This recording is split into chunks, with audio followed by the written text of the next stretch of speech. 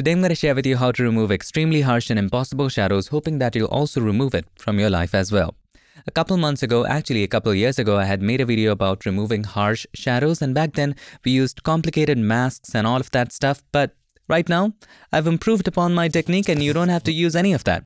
So without any further ado, let's get started. Back in the magical world of Photoshop and if you want to go ahead and download this photo and follow along, you know what to do, check the links in the description. When you have a shadow this harsh, just brightening it won't solve the issue because there's going to be color differences, there's going to be a lot of different differences. And also the lighting inside of the shadow area is going to be a bit different because the main light is of course not going there. So we need to create a kind of an illusion to help us work.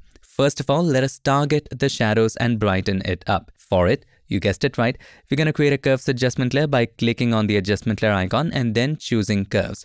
And instead of using masks, we're going to use something else. First of all, just brighten it up like so. Secondly, let's double click on the right hand side of this layer this opens up the layer style dialog box and you know where we are going with this. In the blend if section, we need to take it away from the bright areas. So let's move it right there. And we are taking it away from the bright areas of the underlying layer or the layer that lies under it. So we need to play with the underlying layer sliders and we need to take it away from the bright areas. So let's take the slider on the right to the left like so. Now, of course, this is going to be a bit harsh. So I'm going to stop right about there, hold the Alt key or the Option key, click on it to make the transition a little bit smoother. Maybe we're going to stop right there. Now we cannot make it absolutely smooth because shadows and fall-offs are different in different areas. This seems to be about right for now. Hit OK. Now, as you can see, the colors are a bit different here and there. So first of all, let's take away the colors so that it's not distracting us anymore. We're going to recolor this later. Click on the adjustment layer icon and then choose solid color and pick any color, gray, white, black, any color with zero saturation. Hit OK and change the blend mode to color. Now this is different from just creating a hue saturation adjustment layer and decreasing the saturation. If you want to learn more about it, check out this video on check layers later. But for right now, we have taken the colors away and it's no more distracting us. So we can get back to our curves by double clicking on the symbol of the adjustment layer. Properties will open up and then you can play with this to match it. I believe this works best. Now, let's close it. Now we need to limit it just to this shadow area. For it, we need to create a basic mask. So select the lasso tool and let us make a selection around this shadow. Give it a bit of space so that we have something to work upon. Whoops, I missed out on that area. Let's hold the shift key and add that, no issues. Now once you have that selection in place, let's invert it by pressing Ctrl Shift I, Command Shift I.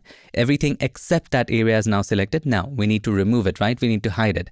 So with the mask selected right here and the foreground color black, press Alt Backspace or Option Delete to fill that with black, just like this, so that only those areas are being targeted. Press Ctrl or Command D to deselect. Now we need to take the brush, take a soft round brush inside of general brushes, make sure it is black, and then you can erase the extra areas. And you can go soft towards the left hand side, towards where the fall off is. So I'm going to slowly and gradually remove this from this side. Now that the side is done, you can also brighten individual areas with a lower flow. So let's say we decrease the flow to about 1 or 2%, like so. Change the foreground color to white, and maybe let's say this area is dark, so just paint white in that particular area. Just for little areas here and there, that's all. Sometimes you may want to zoom out. This seems about right, something we can work with. Also, let us increase the flow again. And with black, there are some areas that are left out. So let us bring back the original stuff right here. Don't worry about the edges right now. There you go. Similarly right here under the nose, rest everything looks okay. All right, pretty good. At this point, I would love for you to look away for a while, away from the screen, not away from me. I know I'm not that handsome, but still, give your eyes a little bit of break Watch this video for now and then when you get back to your photo, you would start seeing the things that you would have missed otherwise. So let's go back to the properties of curves, see if you needed any further adjustments. So right now this is what it is. Let us increase it and see if it helps. Let us decrease it and see if it helps. So maybe I'll increase it ever so slightly, maybe this much. And from there, all we need to do is to just remove the lines and take care of the coloring. Now there are just so many ways to remove the lines. You can even try generative fill for it. To keep stuff simple, let us create a brand new layer and choose the brand new remove tool. You can also use the spot healing brush tool. You can also use the patch tool. Absolutely up to you. But the remove tool makes it super simple. You want to make sure sample all layers is checked and just paint along the lines. That is all you need to do. And it should be removed. But no, it's not. Let me try again. Like so. And it's magically gone. There are some dark areas which we'll take care of later. But for now, let us just remove the lines. Now some areas are going to be tricky. So just paint over it, don't worry about it now. We will take care of all of those tricky areas later. See how beautifully they're going away? Again, this area is tricky, so we'll leave it at that. Now let's zoom out a bit and see if there are some discrepancies.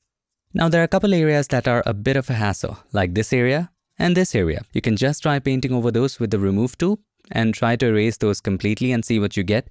If that doesn't work, you can always dodge and burn. Alright, that one worked pretty good. Let's try this one. That is good, but it's creating that weird texture all around. So let's go back and maybe we might have to try the patch tool here. But patch tool doesn't work on an empty layer. So we need to create a stamp visible layer. Don't worry about the colors right now. I know there is this layer added and there are colors all around and it's just not looking right. Don't worry about that right now. We're going to recolor later. But for right now, just above this layer, we will press Ctrl, Alt, Shift and E Command Option Shift and E if you're on a Mac. This creates a stamp visible layer, a merged layer of everything you see on the canvas right now. And then let us try selecting the patch tool right here and make a selection of that. And let's try replacing it with something else, like so. Control or Command D to deselect. It's a bit better. Let us select the remove tool again and take care of the corrections here and there. So like so. And this area at the bottom. There you go. We have come so far. Now you can take the time to fix little issues here and there, but I think we are pretty much done except for this tricky area because no matter how much you try to remove it with the remove tool, it's going to mess it up. Um, it's just not looking right. So you can try the clone stamp tool, dodge and burn differently in those areas. But if you're using the latest version of Photoshop, why not just try generative fill?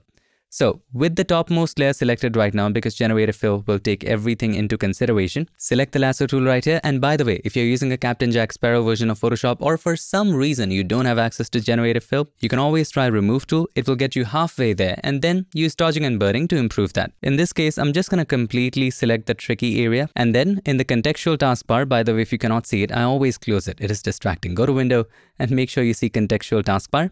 Click on generative fill and generate. You can also try typing in nose, see what you get, and that was pretty fast. So here's the first, second, third. Pick what you like.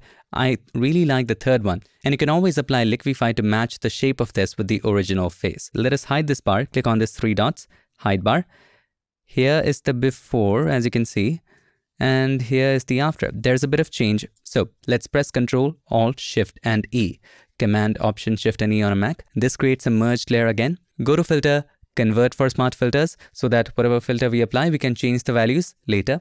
Hit OK. And then go to filter, Liquify. Now you can keep the original photo by the side, but I'm just gonna eyeball it. With the forward warp tool right here, let's make the brush a bit bigger and just nudge it slowly and gradually towards the right.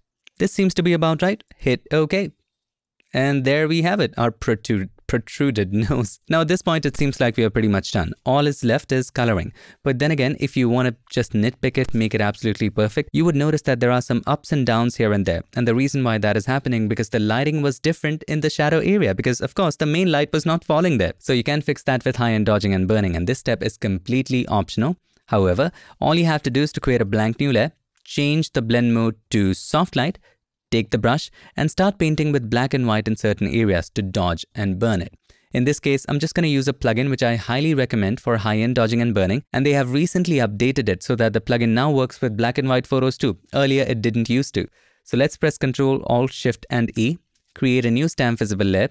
Let's go to filter, Retouch4me. This is what I have been recommending. Inside of that, dodge burn.